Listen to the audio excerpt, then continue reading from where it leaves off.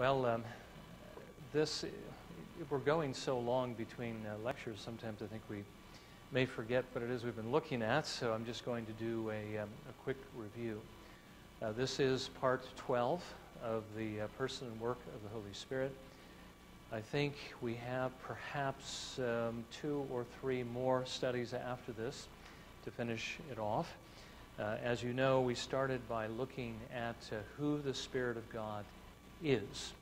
And we did see that, first of all, he, he is fully God, which means he has all the attributes uh, that the other persons of the Godhead have as well. Uh, we saw that he is personal, which means that he is not, as some believe, an impersonal force, um, just the power of God sent forth to do his will. Uh, and we saw that he is, in fact, a distinct person from the other two persons of the Godhead. So he's not just one, as it were, uh, mode, uh, one way in which uh, uh the one, you know, uh, well, at least those who believe this, the one person of the Godhead reveals himself. Uh, there are three separate persons in the Godhead Father, Son, and Holy Spirit. And then we saw that he is distinguished, um, not fully from the other persons, but each of the persons has something that uh, perhaps the Bible emphasizes a bit more than it does on the others as far as his particular nature. Uh, we, we did go in a little bit of detail as to uh, the Spirit of God being the love of God. Now, what we're doing is we're looking at how the fact that he is the, the love of God works itself out in his work. So we've seen that when the Spirit of God uh, who is actually the one who applies uh, the work that uh, Jesus Christ has done, when he applies that work to an individual, when he applied it to us, he actually created a love for God in our souls. He created a love of holiness, things that have to do with the Lord. We call that uh, regeneration or the new birth. Uh, as he continues to work in us, he continues to cause that love to grow stronger and more comprehensive. Uh, we call that work sanctification. Uh, the Spirit of God gives to us a desire or a particular, let's say, love for a particular work uh, in which to serve the Lord.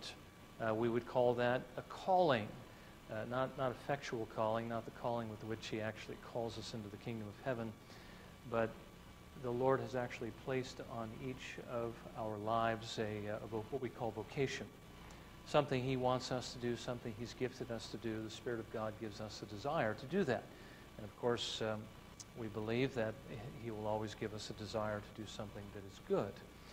Um, he is the one who guides us as well by drawing our hearts out toward different things. And I'm talking here not just about life calling, but uh, even in particular decisions that we have to make. Sometimes the Spirit of God uh, gives us a desire to go one way or another. Uh, the Spirit of God gives us spiritual gifts uh, by which we can serve the Lord and, and, show our love for Him. And He also gives us gifts by which we can serve one another. And uh, those two are not mutually exclusive. I think last time we saw that um, He even gives us uh, natural gifts. The Spirit of God is the one who actually creates those things in different individuals, uh, whether they're Christians or not if you have the skill to play music, or if you're good at arts, or you have the ability to work with metals, or whatever it may be. Uh, the Lord is the one who actually gives us that ability. He's also the one who allowed um, the great discoverers in history to make the discoveries they made. Uh, they didn't come up with those thoughts and ideas by themselves, but the Lord revealed it to them in His timing. So again, He gets all the glory for that. But the Spirit of God is the author of those gifts uh, when He strengthens our spiritual gifts, uh, the only thing He really has to do is strengthen our love. And that will strengthen everything that the Spirit of God does within us. It'll strengthen the image of Christ in us, our desire to serve the Lord, and also make our ability to serve Him uh, more effective because we have more zeal.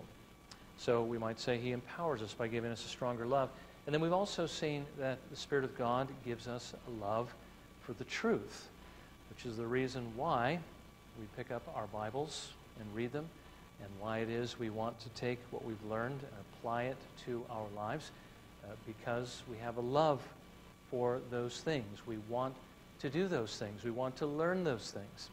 Uh, so, one again, uh, this love the Spirit of God is is something He creates in us that is really behind everything the Spirit of God does in our lives. And it, as I mentioned before, this is the one thing that separates a believer from an unbeliever. It is the only thing that separates a believer from an unbeliever as far as his person is the fact that he has the Spirit of God working this love in his heart. This is the reason why you and I trusted Jesus Christ when he was offered to us, and why those who haven't trusted him don't trust him, because they don't have that love. They don't have that taste or desire for spiritual things. So the Spirit of God works this love in us, and this really from out, out from this flows everything that He does. Now, one thing we also saw, and I've been sort of repeating as a refrain throughout the study, is that love is very precious, that the Spirit of God gives to us, and we need to be careful that we uh, guard it, that we don't let anything quench it, uh, throw water on it, as it were.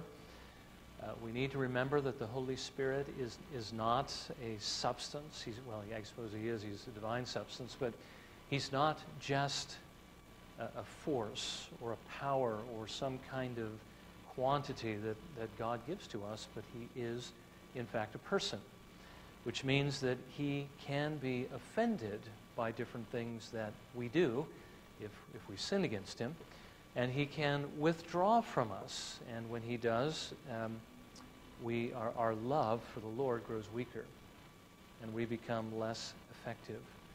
Which is why uh, Paul writes, uh, Do not grieve the Holy Spirit of God, by whom you were sealed for the day of redemption. Don't grieve him. You can't grieve an impersonal force, but you can grieve a person.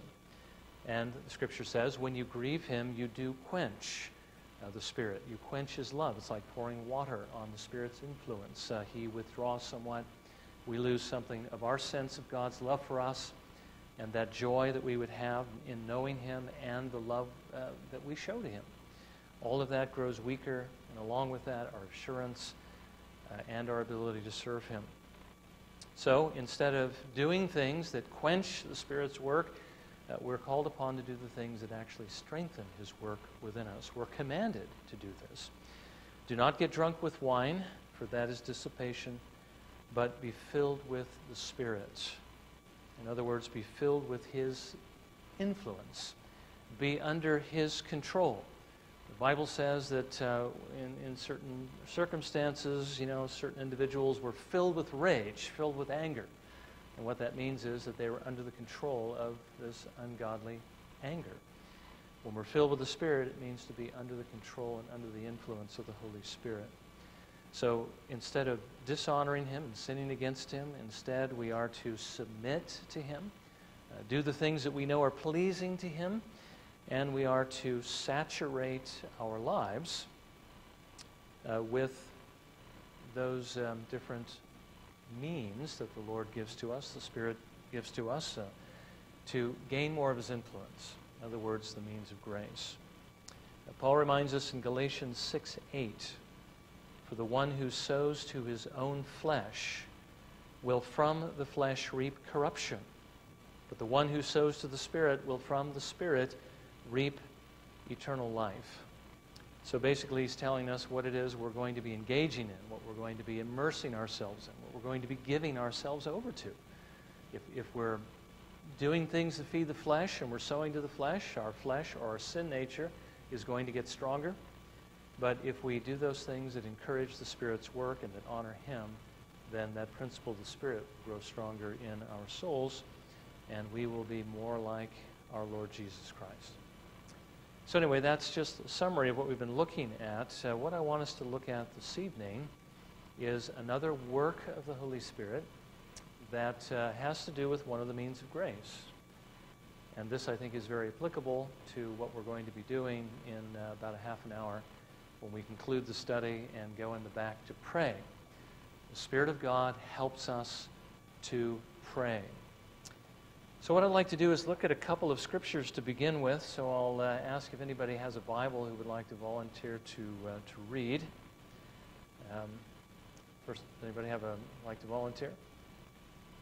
Somebody's running for a Bible. Okay. Uh, uh, Kathy, would you uh, look up Romans chapter 8, verses 26 and 27? And then, Sarah, you've got uh, a Bible. Could you look up Jude chapter 1? It's only one chapter in Jude, verses uh, 20 and 21. And then I need one more volunteer to read. Okay, Dick? You would read Ephesians 6, verses 18 and 19. Now, the main thing we're going to be looking at is in Romans chapter 8. Those other two texts contain something in common that we need to look at uh, as well that I think will help us understand that uh, what we look at in Romans chapter 8 is what we are in fact commanded to do. Okay, so first of all, Romans chapter 8, verses 26 and 27.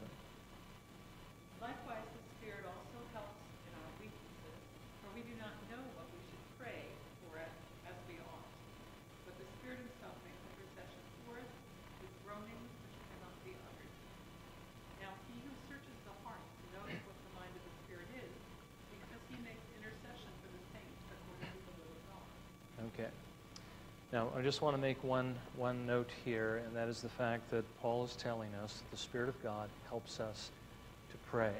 And we're going to want to come back to that in just a few moments. But uh, let's look at the second passage, Jude 1, verses 20 and 21.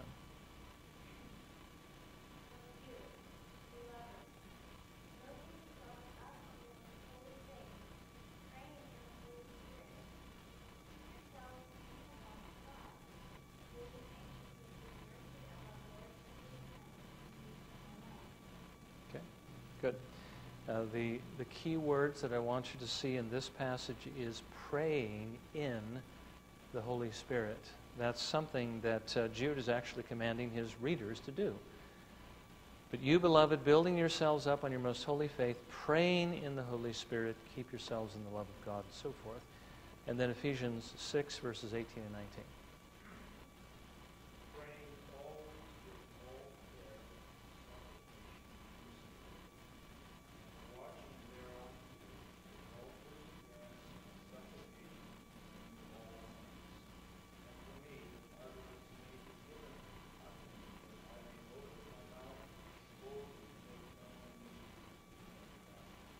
Okay? Now, notice Paul here is commanding uh, the Ephesians to pray for all the saints and to pray for him, but to pray in a particular way. Uh, with all prayer and petition, pray at all times in the Spirit. So, what we want to look at is what it means to pray in the Spirit, and what it means that the Spirit of God actually helps us to pray. Now, uh, I thought it might be helpful for us just uh, to review, first of all, what we already know about prayer uh, in order to define exactly how it is the Spirit of God helps us to pray. So, first of all, let's. I, could write this down on the board, but I'm not sure that it's going to be uh, that important. Um, I think we're fairly familiar with this. But, first of all, what is prayer? What are some of the things that we uh, know about what prayer is? Okay, it's essentially talking to God, isn't it? Uh, when Jesus was on earth, it was also talking with him, right? I mean, when, when Peter uh, was on the water and, you know, when Jesus was walking on the water, Peter said, you know, Lord, if that's you, then command me to come out. And he, he, he said, come. And Peter was walking on the water and he began to sink. And then uh, he, he cried, Lord, help. That was prayer as well. I mean, he was talking to Jesus, yes? No. No, the thing that makes it prayer is the fact he was talking to one who is God. Okay? So it is talking to God. Now, what are some of the things we talk to God about? What are some of the elements that make up prayer?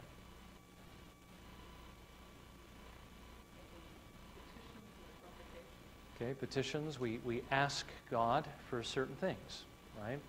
What, what else do we do when we're praying? Okay?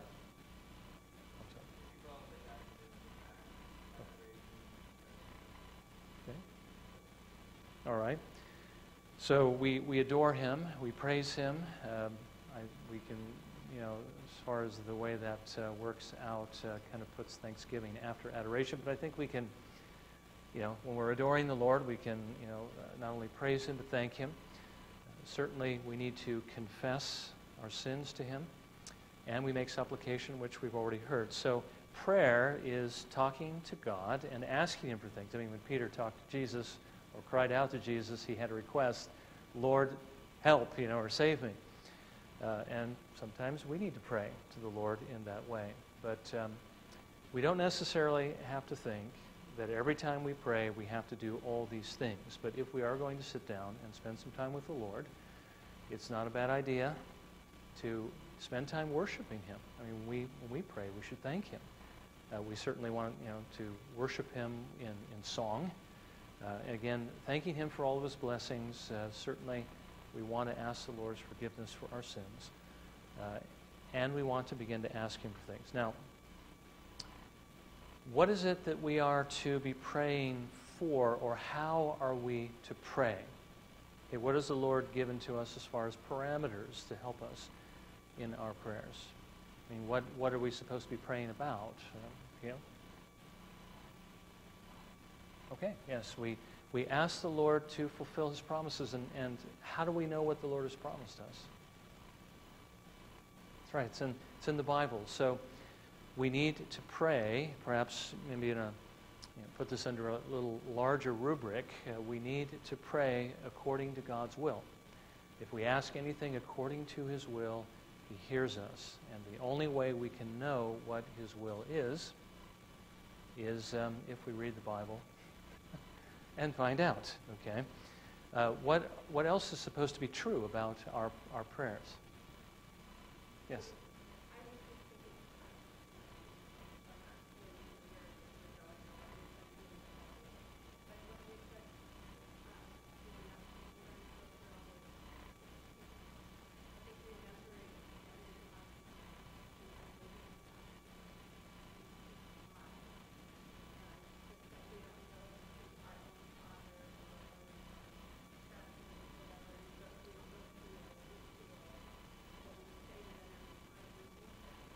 Okay.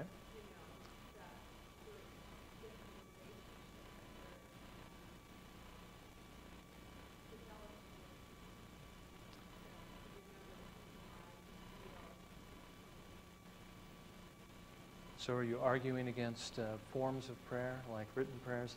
Okay, so we, we need to, yeah. But we don't want to just say the same thing and just go through a ritualistic list or this is what I normally say. Like we teach our what we teach our children to pray. Now I lay me down to sleep. You know, um, just a simple prayer, but actually it's meant to be a pattern, even as our Lord gives us the Lord's Prayer. Uh, he gives to us a, a pattern of prayer. And we may use those exact words if we want to, but I don't think He intends for us to make it a ritual.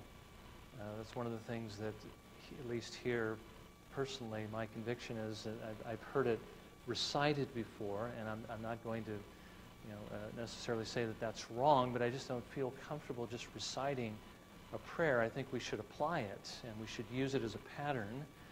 Um, so, no, but not just using the same words all the time, remembering who it is we're speaking with. Yes? That's right. We need to pray in faith. Jesus tells us, whatever you ask in my name, believing, you will receive it. Okay, of course, we need to know it's the Lord's will, so we need to look in His Word. We need to, of course, address the Father, but it has to be in faith. What else has to be true about how we pray if we want to be heard? What's the motive behind our prayers? Okay? For God's glory. That's right. Everything we pray, we need to be praying for the glory of God. And that means even when we ask for things for ourselves, or ask for things for other people, Though we may love ourselves and love other people and be concerned about both, we still need to pray that these things would be heard and answered so that God would be glorified.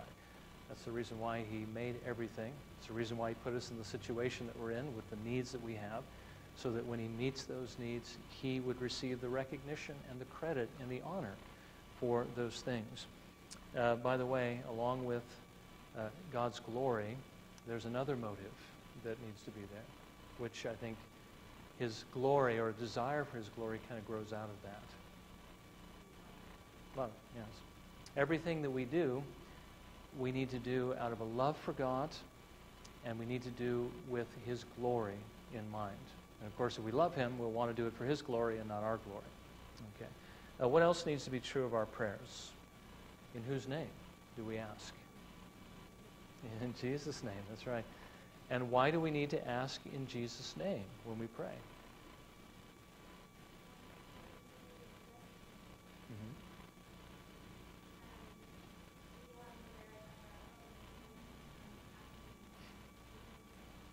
Okay.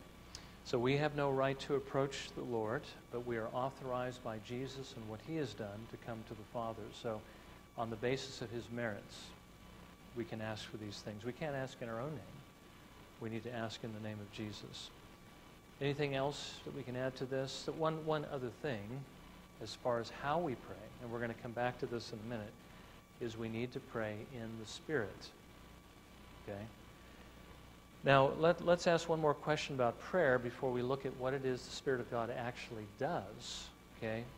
Why is prayer important? Why did the Lord give us prayer? What's its purpose?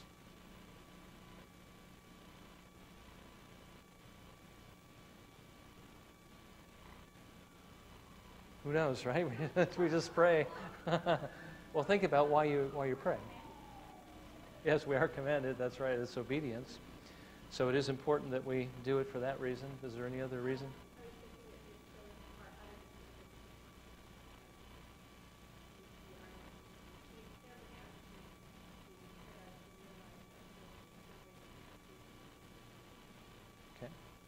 So it does show our dependence upon Him, and that actually is wrapped up in, in you know, perhaps the, the thing that I'm looking for.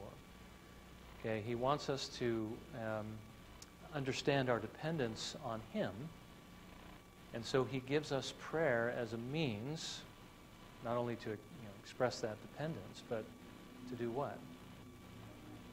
Well, to, certainly to glorify Him.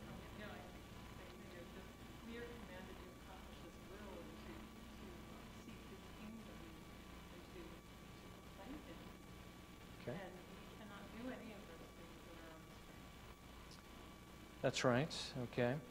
So prayer is, we might say, is, is the means by which, the means that God has given to us to actually get what it is he's promised us. I mean, we can't, I mean, if we don't, what Jesus says, I don't see. It isn't Jesus, I think that was from that. Um, no, it's James, okay. You have not because you ask not, okay. And of course, you can ask and not receive it because Wrong motives, okay. So we have to have the right motives, the glory of God and the love for Him. But we do need to ask. And Jesus did say on another occasion, uh, you know, knock and it shall be open to you, seek and you shall find, ask and it shall be given to you. Okay. Uh, sometimes we don't get because we don't ask, but prayer is the means by which God has given to us to ask Him for the things He's promised to give us. Okay, so that's why is prayer important? Because that is how we get what God has actually promised. That is how we advance the kingdom of heaven. That is how we, we get the Lord's help for other people. That's how we get the Lord's help for ourselves.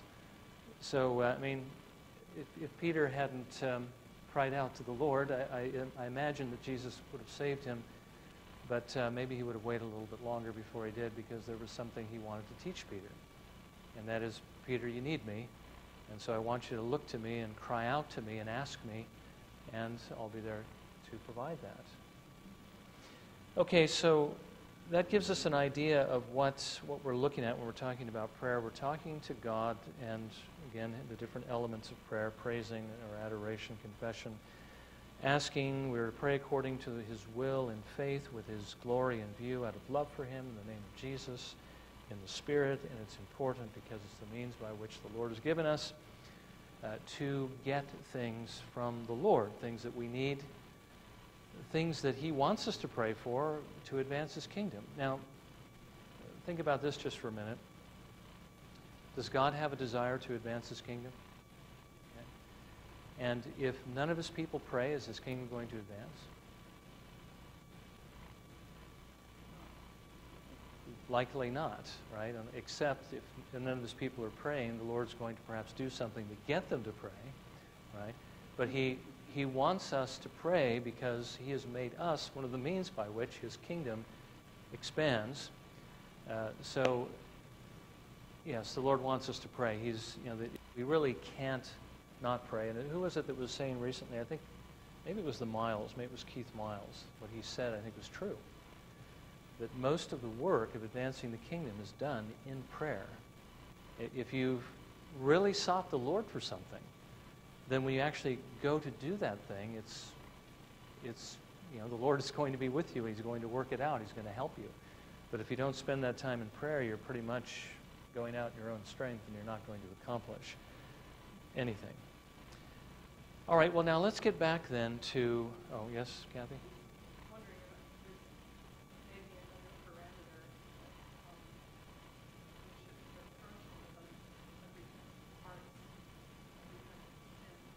I think that's where confession comes in, yes, okay. But that's, that's a good thing to, uh, to note. All right, now, considering all we know about prayer, you know, as far as what we're to pray for and how we pray and so forth, uh, what does the Spirit of God actually do to help us? And what does it mean to pray in the Spirit? Can you think, going back to, um, well, maybe it wouldn't be a bad idea to turn up Romans chapter 8. If you have a Bible, you can do that. It might be a little bit easier to follow. Sure.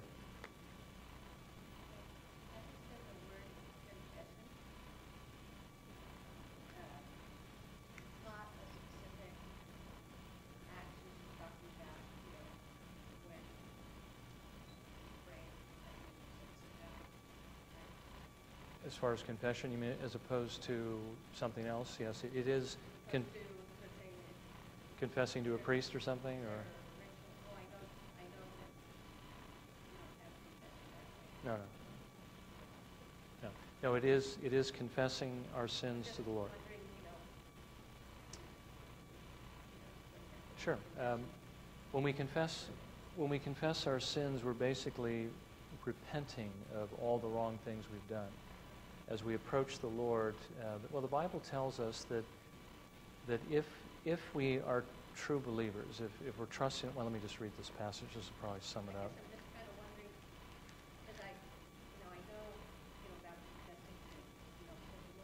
Mm-hmm.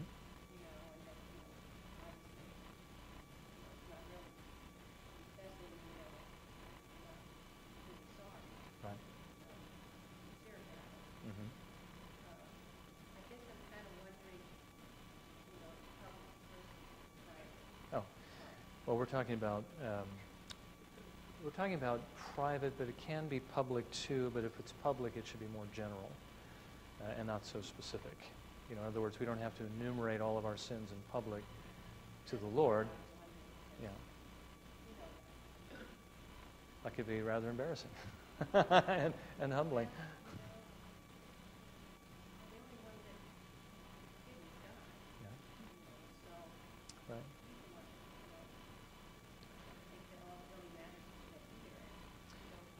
Right, unless, of course, we've sinned against someone, then we need to go ask their forgiveness as well. But you're right. If we're going to confess our sins, particularly, we. Yeah.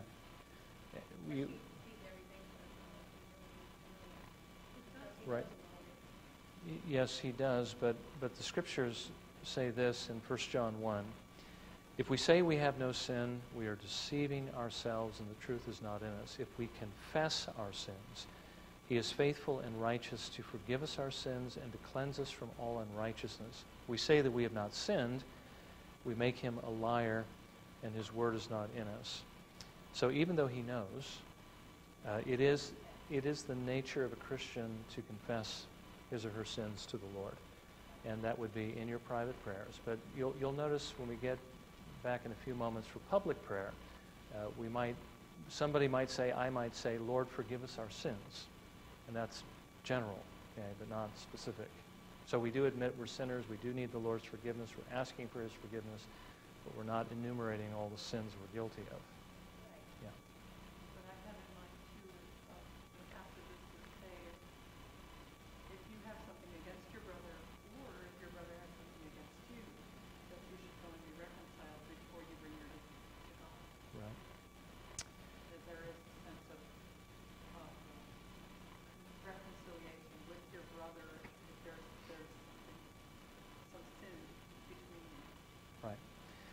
That is important. Um, doesn't mean we can't pray before we do that, but we ought to make our prayers, that should be the bulk of our prayers if we haven't done everything we can do to be reconciled to that person.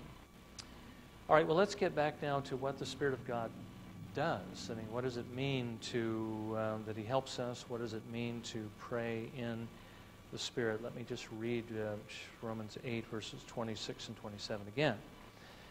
And in the same way, the Spirit also helps our weakness.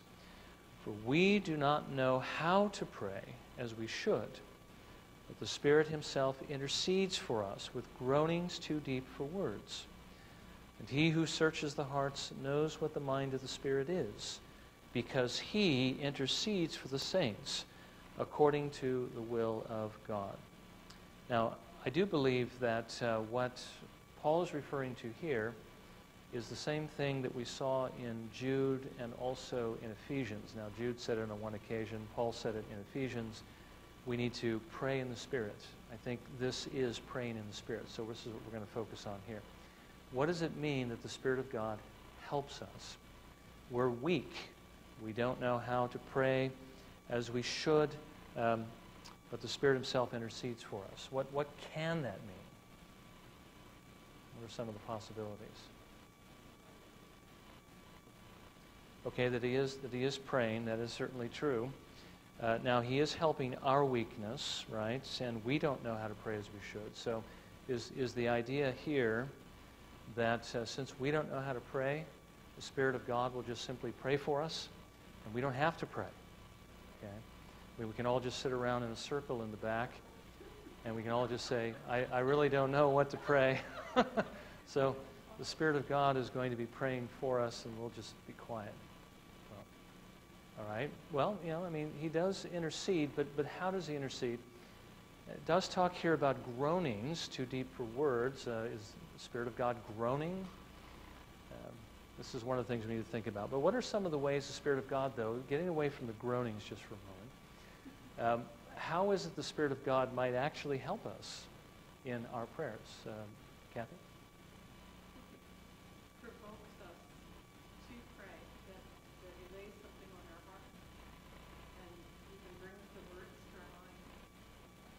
Okay? That's one way this could be understood, is the fact that we, we really don't know, uh, you know, maybe specifically what we ought to pray in certain circumstances. Or knowing the will of God, how we're going to apply that to a particular situation and pray so that God hears us, because we do need to pray according to the will of God, and maybe we don't know what the will of God is in that circumstance. So we need some help from the Spirit of God to take what we do know and pray for the things we can pray for. That makes sense? In, in other words, he would lead us then, this would be like a teaching ministry of the Holy Spirit to help us apply the Word of God to a particular circumstance so that when we pray, we pray according to the will of God. And since we pray according to the will of God, then the Lord's going to hear us. Right? Because if we, we pray contrary to His will, He's not, He may hear us, but He's not going to answer us. Okay, Donna?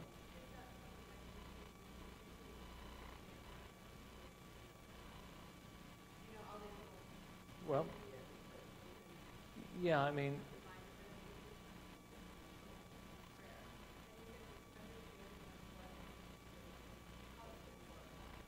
right.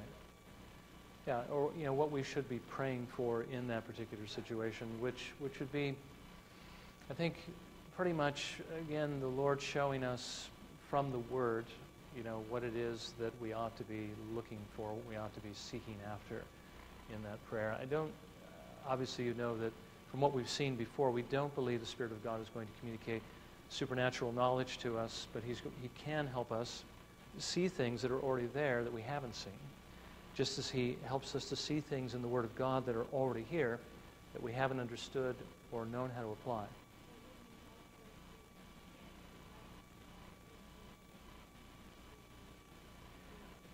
Yeah, I think so. Um, it, it's quite possible that that's what the groanings you mean is, is getting to, to the groanings, yes. Uh, possibly, I mean, certainly, uh, there's nothing that would keep the Spirit of God from doing that, right? Um, praying to the Lord, uh, even from our own souls, the things that really need to be done. That's certainly a possibility. Dick, you look like you want to come in.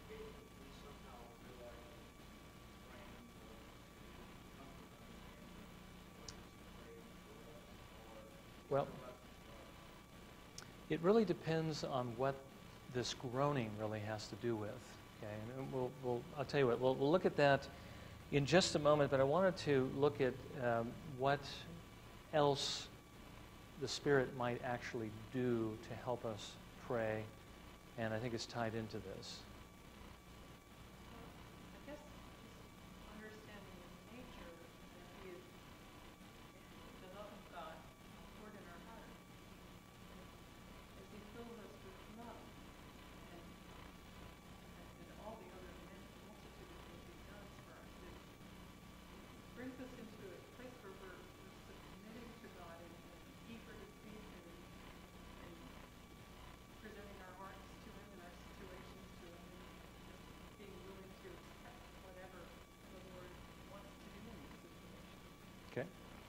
So in, in this case, what we're looking at is when it says here that the Spirit is helping our weakness for we do not know how to pray as we should, it's not so much the content of our prayers, but the manner in which we pray. Because when you think about, um, you know, uh, what kind of prayer, I mean, what, what kind of prayer is it that the Lord will actually hear? Okay, okay it needs to be sincere It needs to be in faith. What's that? It, okay, it, it has to come from a heart purified by grace. That's right. The righteousness of Christ uh, imputed to us and so forth, and in his name. Uh, I'm sorry, glasses.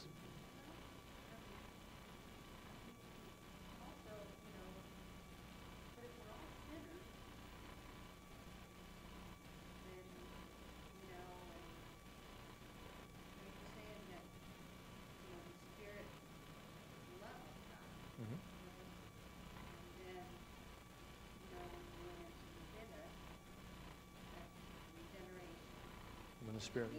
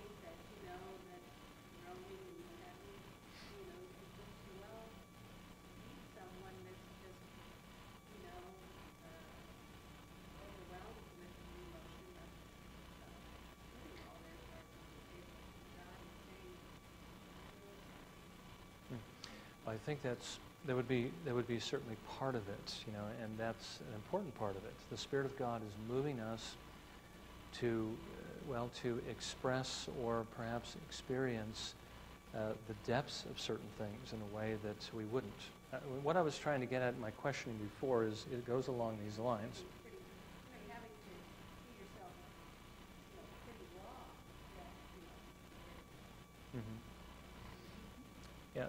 The, um, the Spirit of God, when, I'm at, when I was asking the question, what kind of prayer should we offer to the Lord?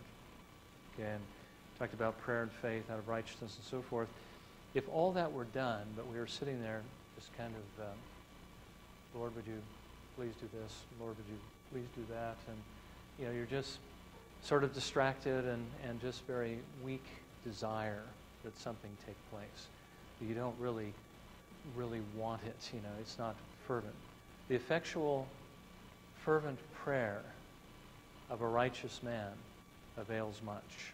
You know, um, the Lord doesn't want us to um, to be indifferent in our prayers. And what you were expressing was a depth of, of of, of, expression over my sins. It should be deep. I mean, we should, as we're laying our cards on the table. But it should be that way in whatever we're asking. You know, if we're asking for something for God's glory, it shouldn't be something that doesn't, you know, just not matter to us. Okay, I think the Spirit of God works the kind of prayer that is honoring to the Lord, He works that kind of prayer. He works a kind of fervency or an ardency in it that makes us so love the Lord and desire to glorify Him that we ask with that kind of fervency. And sometimes it's a fervency that can't be expressed in, in words. In other words, it's sort of a depth of feeling. And, um, and as we think about this, we're, we can't help but examine our own hearts. Are we experiencing this kind of prayer, or are we doing the other kind where we just sort of list things out without feeling it very strongly? But here, I believe Paul is telling us that the Spirit of God is doing things. It says here that we're weak and we can't pray as we should. The Spirit of God's going to help us. And I think it's not only by helping us understand what to pray for, but also in the way that He helps us to pray as we should with the manner of our prayers, which is with a depth of, of emotion or of, of, of fervency or ardency or love and desire for God's glory. Now, that's where we get to the, uh, the groanings, I think. Okay, what do these groanings mean? It says here we don't know how to pray as we should, but the Spirit Himself intercedes for us with groanings too deep for words. Is Paul telling us here that the Spirit of God inside of our souls is just going, you know, like this to the Lord, just kind of groaning and moaning? Is that, is that what's happening here? You know, it's, it's a groaning that is too deep for words. In other words, the, the, the, the sensation or the, uh, the emotion or the affection that's involved here is so deep that words really can't express it. And so, is the Spirit of God just kind of moaning in our spirits? You know, if Greg were here, one thing he pointed out that Lloyd Jones, as he's talking about this particular passage, says, The Spirit of God does not groan. Yeah, you just, you just lay that down. And I think that that's probably true. I'm not sure that the Spirit of God is necessarily groaning here, but I do think that he is causing perhaps a groaning that is coming through our souls. In other words, what he does in us is, uh, is causing us to do something. His intercession is causing us to do something, causing us, as it were, to, to groan. Now, I'm not saying that we should all, you know, get in a circle and I can't think of what I'm supposed to say, so, mm, you know, I just start groaning and moaning and so forth, and the Lord's going to uh, see that, but I think there's going to be something of this ardency in our prayers. You know how it is uh, when you know you're, you're sitting there and you're, you're thinking about all the different things you could pray in a particular cir- circumstance, or maybe you're, you're grieved over your sins, and you're thinking about all that you've done, and, and the Lord, by His Spirit, is helping you to feel the depth of your sin, and you just maybe you do begin to moan, you know, over the fact that you've dishonored the Lord. Can the Lord understand that? Can he interpret what you're saying? Well, he can, you see. So I think it's talking here about the Spirit of God helping us to pray at a certain kind of depth of affection that we would not be capable of doing without. I mean, we, we can't do anything spiritually pleasing to God apart from His Holy Spirit. But the Spirit of God is working this kind of grace in us, guiding us in our prayers, and interceding, as it were, through us, through our souls, giving us, again, this this kind of ardency or fervency or love for what is right that may cause us to deeply repent of our sins or earnestly seek after something in a way that we just really can't find the words to express. I think that's probably the best way to understand this passage. And the thing is, the Father sees this and he, he understands what the Spirit of God is actually uh, moving us to, to feel or to say and so forth, and he knows what the Spirit is indicating. I mean, it says here, He who searches the hearts knows what the mind of the Spirit is. This is the Father searching our hearts as we're praying. He knows what it is the Spirit of God is interceding, what He's saying. Because He, that is the Spirit of God, intercedes for the saints according to the will of God. I mean, He's, he's helping us, again, here, to pray according to the will of God. What it is that, that we're actually expressing to the Lord in, in ways that we can't even find the words for is going to be according to the will of God. So basically, I think what we have here is, is this, and this is, this is interesting and encouraging. We have not only an intercessor in heaven, Lord Jesus Christ, who sits at the right hand of God, praying for us continually, uh, pleading his merits on our behalf, uh, keeping us in the grace of God through his intercession. But we have the Spirit of God on earth in our souls, helping us to pray according to the will of God in the way that we've just, uh, we've just seen. So we have two advocates that the Father has given to us to help us in our prayers. That should be encouraging, I think. You know, we're not on our own when we pray. Uh, we have help, uh, help even to help us pray the way we should pray in a way that God will actually hear and answer our prayers. And by the way, when we pray according to the will of God, and in this way that desires his glory and out of love for him. And we come to him, you can't really do that without faith. And we pray in the name of Jesus Christ, what's going to happen? He's going to he's going to hear and he's going to answer it. Not necessarily in the way we think he's going to, and not necessarily in our timetable, but if we have asked for something according to the will of God, out of a desire for his glory, trusting Jesus Christ and his merits alone, to even gain access to God. God has heard us and He's already answered us. And all we have to do is basically wait to see how that's going to work out. Does that mean we should just pray for it once and then let it go? No, no we should continue to pray and, until we see it happening. But remember that God actually hears you the first time. And He does answer your prayers when you pray in this way. So, uh, the Spirit of God, if we, if we tie this to His nature, the Spirit of God is love. He is the love of God. The fruit of the Spirit is love, joy, peace, patience, kindness, and so forth. And He gives us that love for God and that desire for His glory that's necessary for the Lord to hear us. So that's the way He helps us, and that's the way, again, His particular nature works itself out in our souls. Um, the Spirit of God is the one who is ultimately going to bring us from where we start as sinners uh, all the way to heaven. And it all boils down to, again, love. That love he creates in our souls. Yes, uh, Sarah.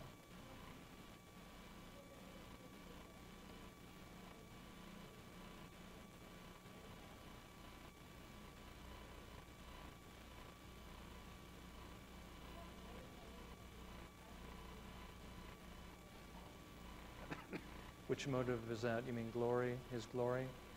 We always have to check ourselves because the Spirit of God is working in our souls. But there's another principle in our souls too, isn't there? And, and what is that? The flesh, which is corruption and sin. So when we're praying, when we're talking, when we're thinking, when we're desiring, when we're doing, everything that we do, we have to decide is this coming from the flesh or is it coming from the Spirit? Is this something honoring to the Lord or dishonoring to the Lord? When we're praying, we can very easily lapse into, I want this because I want this. You know, I want this person to be healed because I love that person and I want them to feel better. I want the Lord to meet this need because I love myself, you know, and I want this need met. Um, those are the wrong motives when we're praying. Even we can even pray that people be converted for the wrong motives because I love them so much I can't even, you know, conceive of the idea of them suffering. But we need to go beyond that to the Lord's glory, yes.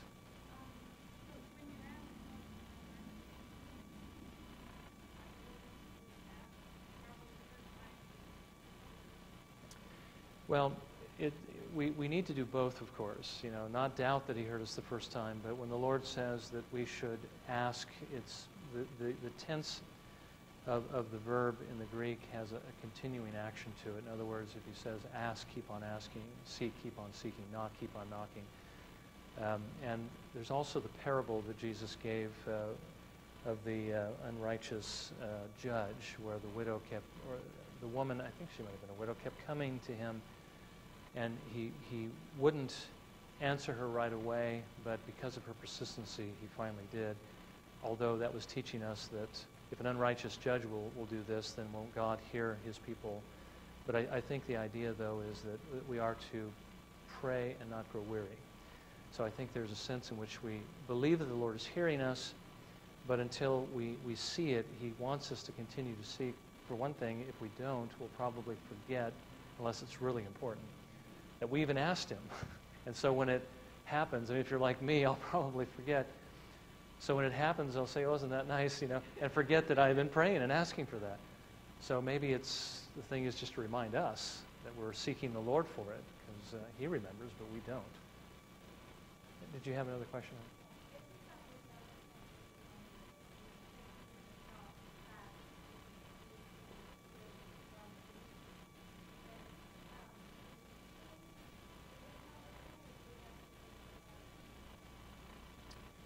Well, I think if, if let's say we're, we're in prayer and you just maybe said this prayer and, and you realize that, hey, I wasn't really thinking about God's glory and whether or not he gets honored through this and I'm you know, seeking that because I love him, I was really just seeking it for myself.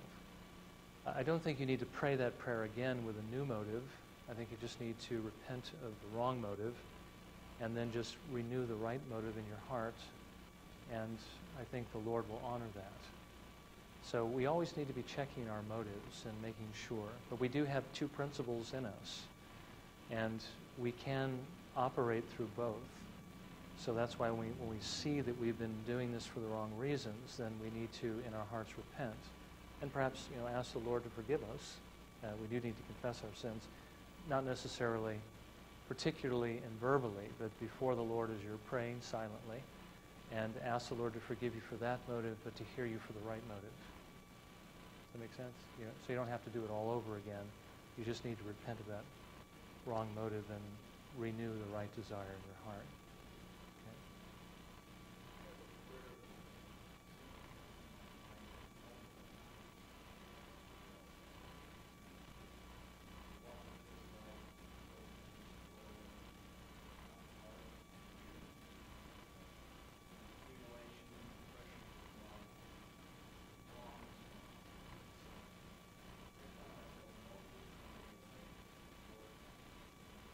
Yeah.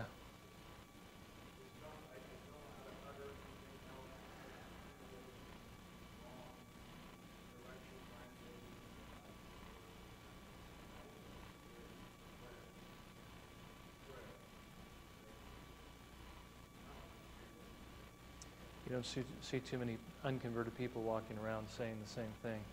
It's, um, it is something the Spirit of God does, and yes, um, I think we all ought to be experiencing that uh, to one degree or another because we're falling short. I mean, every moment we're falling short. So there isn't a moment in time when we're doing everything we should be doing.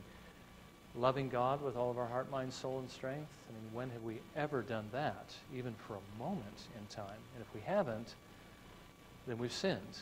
And so we need to be continually asking God for forgiveness. Now, we do need to, of course, guard the fact that um, if, if there are sins we commit. There are sins we commit all the time that we're not even really even you know conscious of. We don't have to uh, make sure we've we've repented of those that we're unaware of and have confessed those in order to be forgiven. But the ones we are aware of, as the Lord brings them to our mind, we need to be confessing those and asking for forgiveness and asking, Lord, in all that I've done that I'm not even aware of, forgive me. But that will be the, um, the heart of a, of a true believer, will be asking God for his mercy, yes.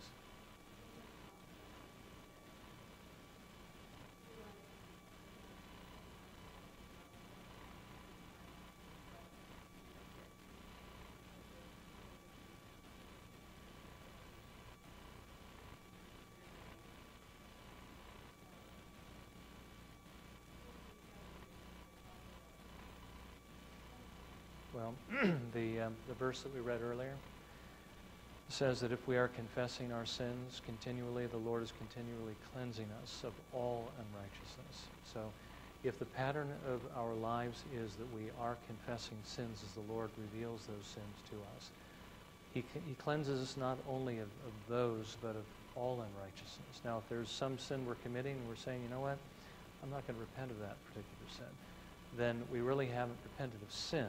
We've, you know, we've given up those other things for some other reason. If we hate sin, we're going to hate sin across the board. We're going to repent of all of our sins. So anyway, but the idea is, you know, doesn't have to, we don't, if we miss some, that doesn't mean we're going to miss heaven. If we're aware of them and we hold on to them, then that's a problem. We can't do that. We have to repent of all of our sins. Okay, but even if we don't do a full confession because we're not aware of everything and our everything we do is going to be imperfect, the Lord is still going to perfectly cleanse us because of his mercy and grace.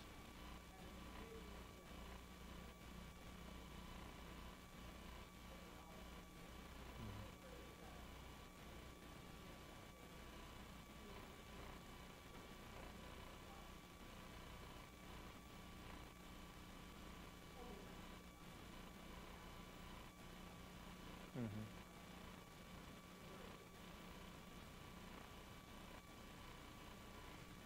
Okay. Uh, I'd ask for more comments and questions, but we're, we're going to actually end up having just about enough time to sit in a circle and moan and groan. Uh, because we're not going to know what to say in the short amount of time we have. No, it, it's about five after. Are there any other questions um, or comments that we we can always bring it back next time if you want to and so forth. But uh, it was good, good discussion. And when we get into a good topic, it does generate a lot of good discussion. So let's close with a word of prayer, and then we'll, let's just, if we can, go straight back. We've only about 25 minutes left. So if we can just go straight to the back and begin to worship and pray, that'll be, that'll be great. Okay, well, let, us close this time in a word of prayer.